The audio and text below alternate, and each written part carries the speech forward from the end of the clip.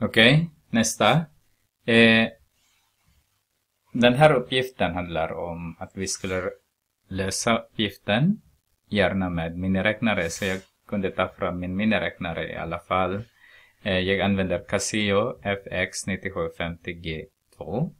Eh, för att börja med så använder jag och visa även knapparna. Så ni ser att jag har delat upp så det blir större.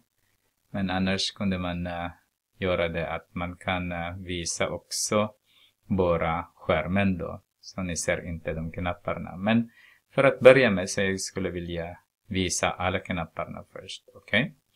För att välja eh, att göra graf så ritar man graf där. En meny först och sen kommer man till graf där. Kanske det är bättre om jag ska använda min pekpinne där. Inte. Och sen exe. Så gör vi så. Och så kommer ni till den här grafen. Se till att y är lika med historier. Okej? Okay? Så när ni skulle skriva till exempel skriver x plus 3. Ni använder den här punkten. x där. Eller knappen x. Adderar med som vanligt. Aha. Det är lite där. Och sen 3. Okej. Okay. Execute där. Och sen, ni har ju två där, så har vi negativ 2x. Negativ 2 x minus 3. Och sen x igen. Som ni ser här, det finns draw i slutet där. Gör en miniräknare så motsvarar den F6. Så trycker jag F6 där. F6. Så ser jag att det finns, jag ser två grafer nu då, som skulle mätas där. Vill jag veta den där punkten, den här punkten där, så vill jag, vad jag gör, är att jag ska ta GSOL, alltså F5, F5 där, så kommer vad jag ska välja. Och den som jag skulle välja är intersection, alltså F5 igen. Okej? Okay?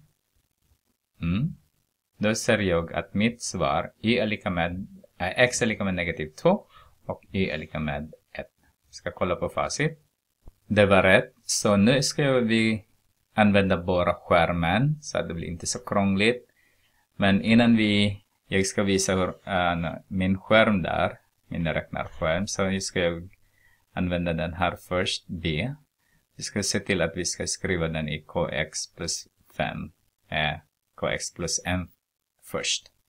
Okej, okay, så om vi adderar båda led med 2x, med 2x, så har jag y är lika med 4 plus 2x. Den andra minus x där, minus x har jag y är lika med 1 minus x. Okej? Okay? Nu ska vi titta.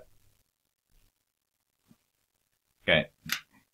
Vad har jag gjort nu då? Om jag tar exit då. Tar jag eh, meny och sen graph. Sen kommer jag här. Och som vi har gjort innan. 4 plus 2x nu då. Där. Och sen den andra 1 minus x. Sen jag ska dra. Och sen vill jag se den där punkten, den här punkten, som jag visar nu. Och då tar jag G-sol, F5 och sen intersection F5 igen. Så har jag negativ 1 och 2.